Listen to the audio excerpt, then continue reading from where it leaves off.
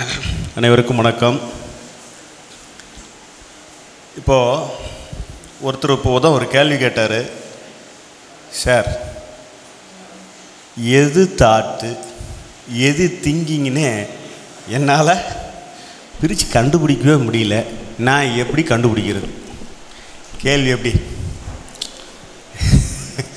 ஒரு சுச்சுவேஷனில் என்னை வச்சு செஞ்சிட்டாங்க அதனால் நானே என்ன ஆயிட்டேன்? என்னால் நான் இதில் எது தாட்டு எது திங்கிங்னு என்னால் பிரித்து என்ன பண்ண முடியல. கண்டுபிடிக்க கூட ஒரு தெரியாத நிலையில் இருக்கேன். நான் எப்படி பிரித்து புரிந்து கொண்டு செயல்படுவது? கேள்வி கரெக்டாக இல்லையா? ரொம்ப கரெக்டான கேள்வி.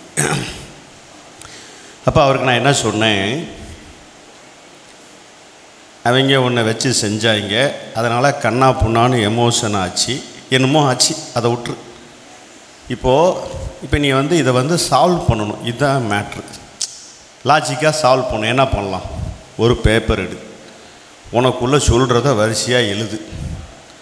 வரிசையாக லைனாக எழுதலாமா? இப்போ என்ன எமோஷன் இருக்குது அதை எழுதலாமா? எழுத முடியாதா? எழுதுவீங்களா? எழுத மாட்டிங்களா? வரிசையாக எழுது. ஒன்று ரெண்டு மூணு நாலுன்னு என்னென்ன சொல்லுதோ அத்தனை பாயிண்ட்டும் போடு. போட்டியா?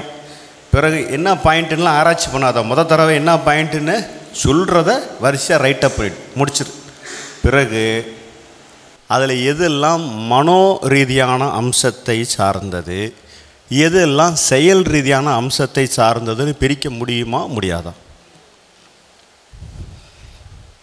முடியுமா முடியாது. எங்கே சத்தமே இல்லை. முடியுமா முடியாதா? முடியும் இல்லை அப்போ மனோரீதியான அம்சத்துக்கு நாம் முக்கியத்துவம் தர வேண்டுமா? தேவை இல்லையா? தேவையில்லை. ஜஸ்ட் சொல்லிட்டேன்.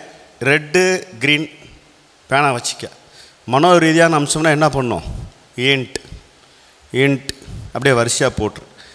செயல் ரீதியான அம்சம்னு தெரியும் உனக்கு. அதை வந்து இதை செய்யணும்னு சொல்லுதுன்னு அர்த்தம். அதுக்கு க்ரீனில் டிக் பண்ணிக்க. நாம் சின்ன வயசில் படிச்சிருப்போம். ரஃப் காப்பி படிச்சிருக்கீங்களா? படிக்கலையா? அப்போ என்ன பண்ணுவோம்? டோட்டலாக எழுதிட்டு ஃபேர்னா அதுதான் அழகுப்படுத்தி சரியாக எழுதுறதுன்னு. இப்போ க்ரீனில் இருக்கிறத மட்டும் என்ன பண்ணோம்? நாம் செய்ய வேண்டியது ஃபோக்கஸ் பண்ண வேண்டியது எது? க்ரீன் ரெட்டுக்கெல்லாம் ரெட்டெல்லாம் தேவையில்லாத ஆணி. க்ரீன் எல்லாம் செய்ய வேண்டிய வேலை. ரைட்டா இல்லையா? கொஞ்சம் நிதானமாக ஒரு பேப்பரில் உட்காந்து ஏன்னா சில நேரம் நம்மளே அறியாமல் எமோஷன் ஆகிறது நேச்சர் அதெல்லாம் வராதுன்னெலாம் சொல்ல முடியாது. புரியுதுங்களா? ஸோ நமக்கு வேலை மனோ ரீதியாக ஏற்படுற எமோஷனில் கிடையாது. Thank you.